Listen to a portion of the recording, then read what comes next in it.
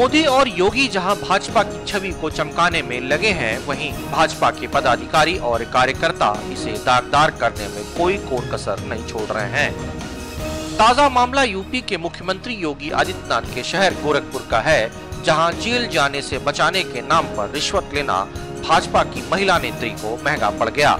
Gorakhpur cantt थाना क्षेत्र के कूड़ाघाट आवास विकास कॉलोनी के रहने वाली भारतीय जनता पार्टी महानगर में मंत्री सरिता सिंह पर आरोप है कि उन्होंने मोबाइल छीनने के आरोप में 13 अक्टूबर को कैंट पुलिस द्वारा पकड़े गए हर्षित पांडे को जेल जाने से बचाने का वादा किया। उन्होंने हर्षित के गिरफ़्तार न किए जाने के एवज में पचास हज़ार रूपए की मांग करते हुए छुड़ाने का आश्वासन भी दिया था।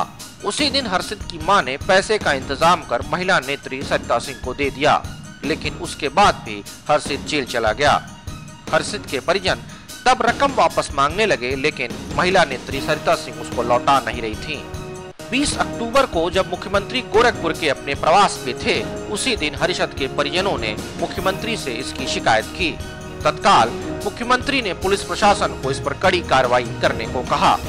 मुख्यमंत्री के कड़े निर्देश पर तत्काल जिला प्रशासन सक्रिय हो गया और पुलिस ने तत्काल पीड़ित परिवार से लिखित शिकायत लेकर महिला नेत्री सरिता सिंह को गिरफ़्तार कर लिया। उनकी निशानदेही पर उनके घर से पचास हज़ार रूपए की रकम भी बरामद कर लिया गया।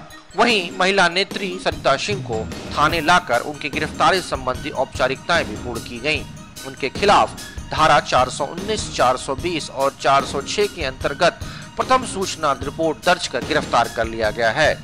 में सरिता सिंह को अरेस्ट किया गया था। इनके खिलाफ प्रभा पांडे ने तहरीर दी थी कि मतलब उनका ये आरोप था कि इन्होंने एक रीता पांडे हैं, जिनके लड़के हर्षित को मोबाइल चोरी के आरोप में कैंट थाने में अरेस्ट किया गया था। तो इन्होंने रीता पांडे से पचास हज़ार रुपये लिए थे। ये कह करके कि मंदिर प्रशासन की तरफ़ से बात हो चुकी है। लड़के को छुड़वाने के लिए पुलिस अधिकारियों से बात हो चुकी है। तो मतलब मंदिर प्रशासन और मंदिर प्रशासन और पुलिस अधिकारियों के नाम पर इन्होंने उससे पचास हज़ार रुपये लिए थे। झांसा दे करके जिसके खिलाफ उन्होंने तहरीर दी थी जिसपे 419, 420 और 406 का मुकदमा दर्ज हुआ है और उसमें उनकी अरेस्टिंग की गई है। प्रदेश के राजनीतिक दलों में भ्रष्टाचार की जड़ें किस तरह फैली हुई हैं उसे भाजपा भी अछूता नहीं है। लेकिन मुख्यमंत्री योगी आदित्यनाथ ने इस कार्रवाई से यह साफ़ कर दिया कि भ्रष्टाचार में लिप्त रहने वाला कोई भी आम और खास बख्शा नहीं जाएगा। गोरखपुर से जनमत न्यूज़ के लिए अजीत सिंह की रिपोर्ट।